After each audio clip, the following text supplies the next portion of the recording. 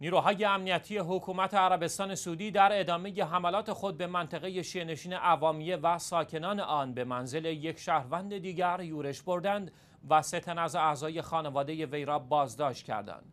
نیروهای امنیتی سعودی در یورش به عوامیه در مرکز استان قطیف به منزل محمد الفرج حمله کردند و با تیراندازی شدید و مستقیم به سمت منزل وی سه تن از افراد خانواده او را بازداشت کردند.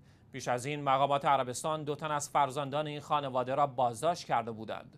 حسین محمد الفرج که یک فعال اجتماعی سیاسی است در 17 ژانویه گذشته در خودروی شخصیش و جعفر محمد الفرج برادر وی در 28 مارس گذشته پس از حمله گسترده نیروهای امنیتی به مزرعی ارامس بازداشت شده بودند.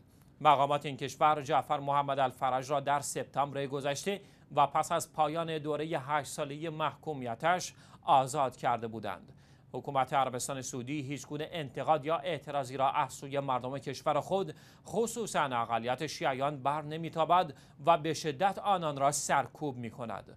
ماه گذشته نیروهای امنیتی این کشور با حمله به مزارع بستگان شهید آیت الله شیخ نمر با قرن نمر در منطقه الرامز در شهر علوامیه چند تن از خویشاوندان وی را به شهادت رساندند.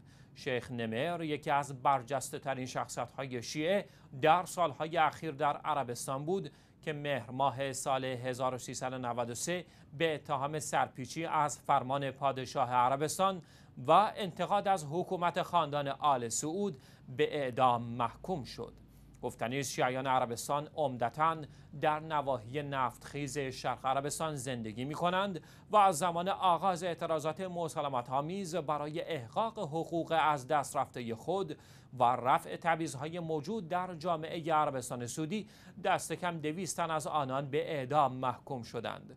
به گفته فعالان اجتماعی در اقدامات سرکوب گرایانه حکومت عربستان سعودی نیز در حدود سی تن از شیعیان به شهادت رسیده و صدها تن دیگر مجروح شدند.